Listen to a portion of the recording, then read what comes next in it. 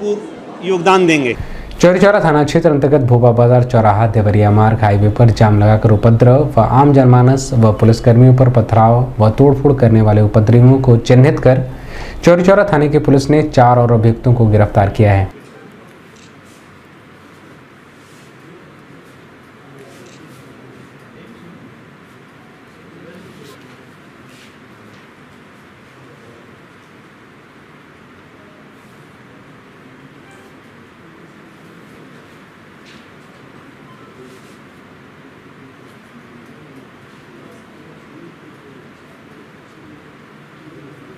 इस संबंध में पुलिस लाइन के व्हाइट हाउस सभागार में पत्रकार वार्ता कर पुलिस अधीक्षक नगर सोनम कुमार ने बताया। तारीख को शाम में भोपा बाज़ार से जो हुई थी मुकदमा अपराध संख्या नाइन्टी सेवन बाई ट्वेंटी धारा एक सौ सैंतालीस, एक सौ अड़तालीस, एक सौ तीन सौ बत्तीस, तीन सौ तैंतीस, तीन सौ तिरपन, तीन सौ साठ, चार सौ सत्ताईस, तीन सौ छत्तीस चार सौ छत्तीस, दो सौ नब्बे, दो सौ इक्यानवे, एक सौ बीस भी एक सौ अठासी, सेवन तीन बटे चार, सार्वजनिक संपत्ति इसके तहत गिरफ्तारी की जा रही है। जो भी हुआ था उसमें सीसीटीवी फुटेज में सब कुछ कैद हुआ था।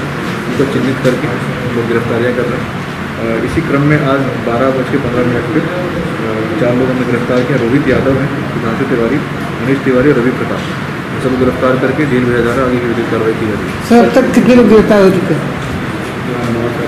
अभी तक तेरह लोग गिरफ़्तार हो चुके हैं और बाकी लोगों को भी चिन्हित किया जा रहा है। जो भी ड्रोन से सीसीटीवी कैमरे से सबसे हमने फुटेज ली थी सबको पहले वार्न भी किया गया था इस तरह से अगर आप कानून व्यवस्था बिगाड़ेंगे लोग व्यवस्था को भंग करने का तत्व करेंगे और कार्रवाई भी उसी क्रम में कार्रवाई की सर कुछ लोगों के इनाम भी घोषित है?